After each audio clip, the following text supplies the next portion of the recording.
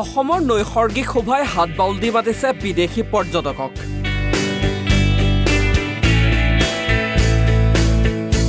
শীতৰ আগমনৰ লগে লগে বৃদ্ধি পাইছে পৰ্যটকৰ সংখ্যা।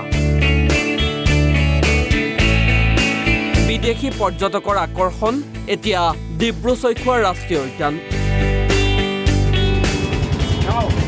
Buffalo, buffalo.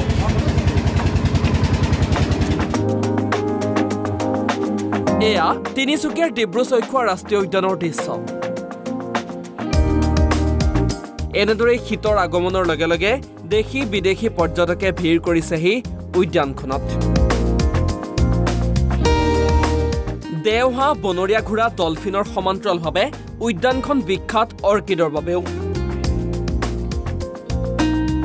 জাৰ্মানী ফিনলেণ্ড ব্ৰাজিলৰ পৰ্যটকে ভিৰ কৰিছে উদ্যানখনত।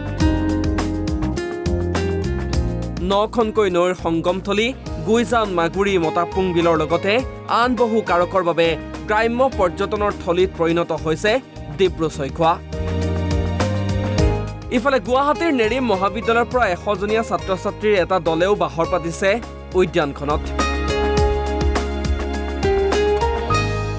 ডিব্ৰু চৈখোৱাৰ প্ৰাকৃতিক সৌন্দৰ্য আমাক বাৰুকৈ মনো মানে মনোমোহা কৰিছে ইয়াৰ প্ৰাকৃতিক সৌন্দৰ্য খুবেই মনোমোহা। ভাল লাগিছে বিশেষকৈ ৰাতিপুৱাৰ যোনটো পৰিৱেশ সেই পৰিৱেশ আৰু সূৰ্য অস্ত যোৱাৰ যোনটো পৰিৱেশ সেই পৰিৱেশটোতো আমি মানে গুৱাহাটীত কি হয় এনেকুৱা পৰিৱেশ খুবেই টান পাবলৈ। ডিব্ৰু চৈখোৱাৰ উন্নয়নত গুৰুত্ব নাই চৰকাৰৰ। কাজিৰঙাৰ দৰে পৰ্যটনৰ অন্যতম কেন্দ্ৰ হ'ব পাৰে ডিব্ৰু চৈখোৱা ৰাষ্ট্ৰীয় উদ্যান। কিন্তু বাৰম্বাৰ আবেদন নিবেদনৰ পাছতো গুৰুত্ব প্ৰদান নকৰাৰ অভিযোগ চৰকাৰ প্ৰশাসনৰ বিৰুদ্ধে। কাজিৰঙা নিচিনা নহয় ইয়াত কেৱল কাজিৰঙাত এলিফেণ্ট চাফাৰী আৰু জীপ চাফাৰী পায়। কিন্তু ইয়াতে খোজকাঢ়িব পাৰে বুট চাফাৰী আছে বিভিন্ন ধৰণৰ ট্ৰিপ ইয়াতে এনজয় কৰিব পাৰে। আৰু কিন্তু আৰু চৰকাৰৰ ওচৰত আমাৰ ক'ব লগা আছে যে আমি বহুত কষ্ট কৰি ডিব্ৰু চৈখোৱাক এটা পৰ্যায়লৈ আনিছোঁ কিন্তু চৰকাৰৰ সহযোগিতাটো একেবাৰে শূন্য বুলি ক'লেও ভুল নহয়।